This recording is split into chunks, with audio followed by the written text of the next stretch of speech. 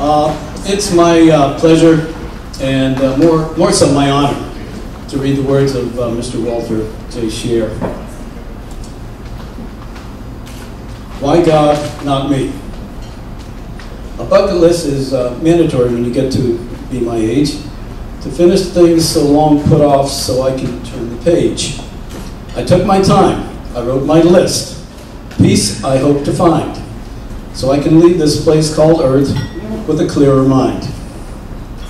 Atop my list at number one was a visit to the beaches of D-Day to pay my respects to the young heroes who bravely led the way.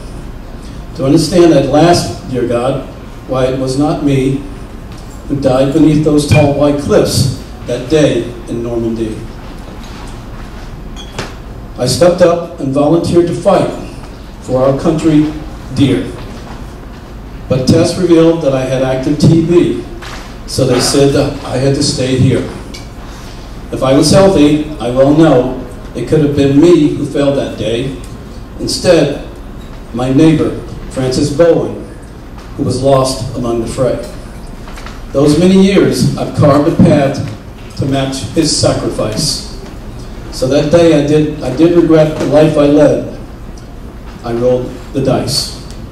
To understand at last, dear God, why it was not me who died beneath those tall white cliffs that day in Normandy. The final chapter of my life is coming to a close.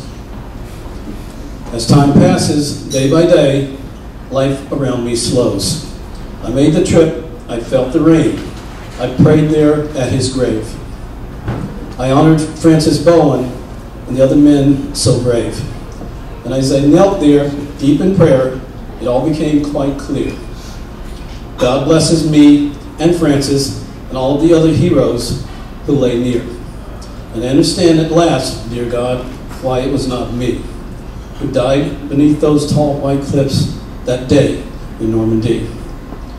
On behalf of a grateful country, thank you, Walter.